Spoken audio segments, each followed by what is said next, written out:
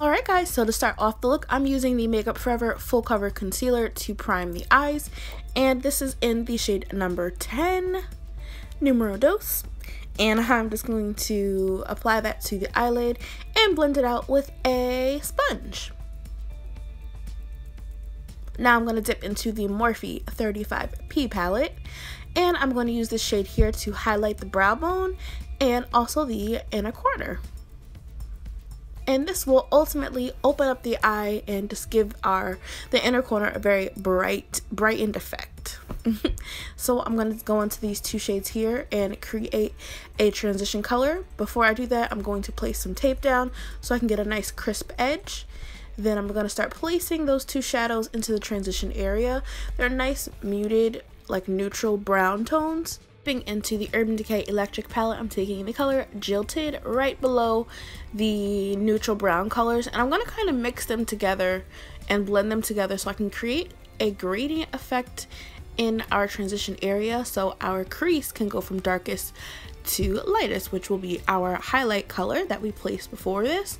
So yeah I'm just gonna take my time and blend those shadows out until it's nice and seamless and there's no like lines of demarcation or anything like that because that's not cute.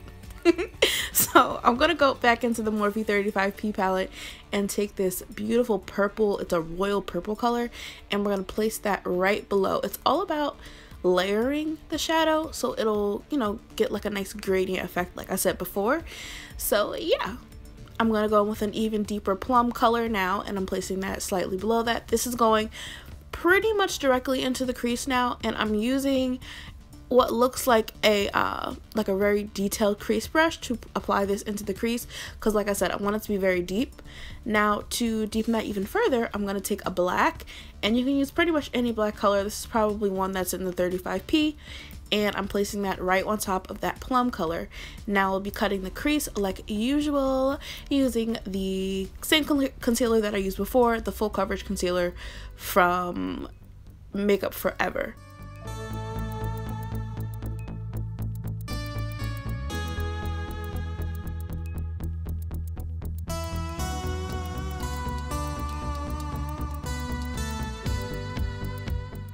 So I have here the MAC tribal collection. This is the quad, the wild horses quad.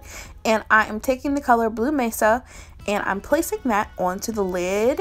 And you guys, this color is freaking bomb.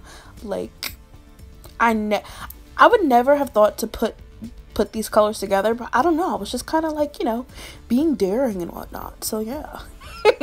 I'm going to go back and redefine the crease with a black and a small detail brush and then I'm going to go and blend those colors out once more so it's all nice and seamless. To add just a little bit something extra, I'm going to go in with this studio liner from NYX and it's a gold color and I'm just going to place like a little line or liner into the crease, just, you know, something extra it's not necessary, but I like I like the way that it looked. I am applying my liner. This is the e.l.f. liquid liner, like always, in black. And I'm doing a pretty dramatic standard wing, winging it out, you know, pretty, I guess it's pretty big.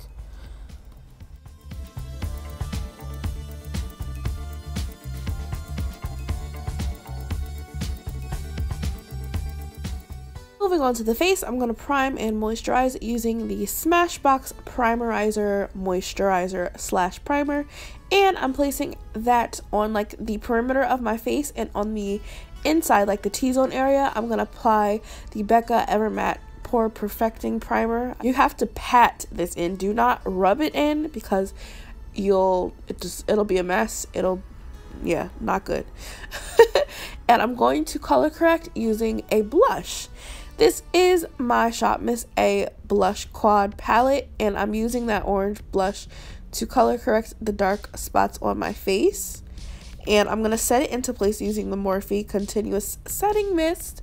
And this stuff smells so freaking good. Like, oh my god.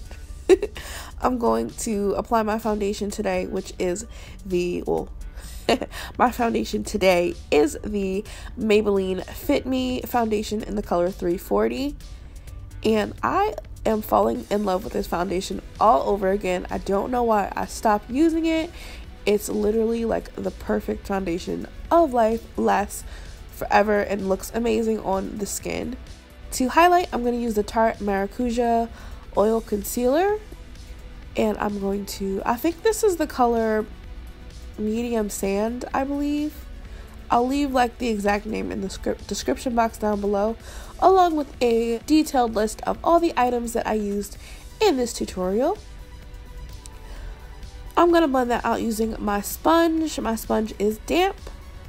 And yeah, I'm to blend that out and then go back with my foundation brush to kind of blend everything together.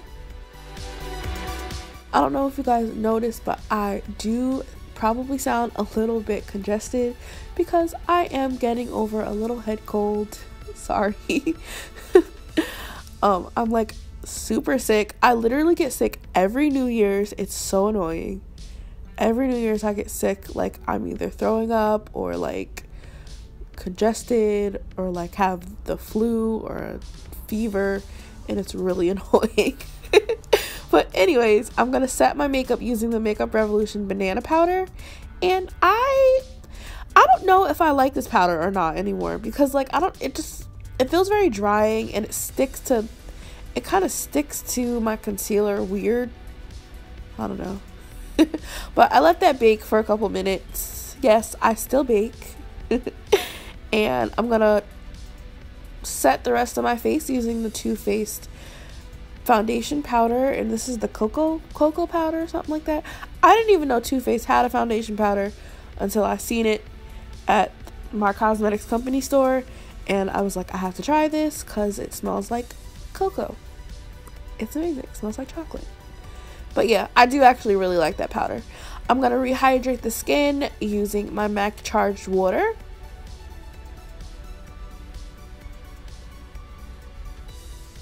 I love how this melts all my makeup together. And I'm highlighting using Jeffree Star King highlighter, my favorite highlighter ever. I love this stuff.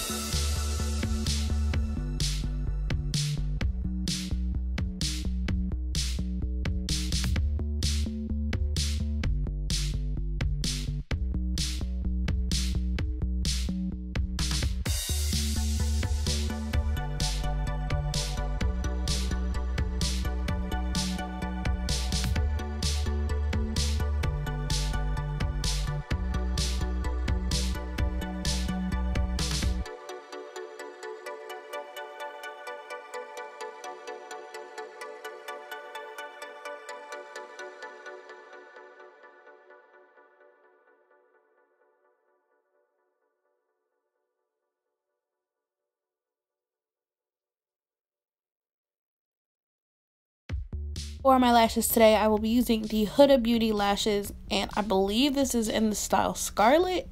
I'm almost positive it is. Um, to line my lips, I'm taking MAC's Chestnut Lip Liner, my favorite on earth, obviously. and I'm going to outline and um, draw on my lips. For lipstick, I will be using the Fenty Beauty Candy Venom MatteMoiselle lipstick. And this formula, let me tell you, is bomb. Okay, so what can you compare these to? I can compare these to probably the MAC um, matte lipsticks, but they're like a little bit creamier and they're just so comfortable on the lips and I'm like I, I really love this formula. It's a really great formula. The colors that she chose are a little bit odd but i mean hey that's that's rihanna. So yeah um i'm all for the MatteMoiselle lipsticks. They're bomb. Like definitely definitely pick it up if you have not tried them already. Now that i'm thinking about it you can probably also compare these to the urban decay comfort matte lipsticks. Those are like that's one of my favorite matte formulas like ever in life. So yeah. um, you can also pair this look with a nude lip. That's always, always an option. You don't have to go as bold as I do because I know that it's quite a statement. yeah, so that's pretty much the final look. Um, I hope you guys enjoyed watching. I love you guys so much and I will see you in my next video. Bye, Sparklets.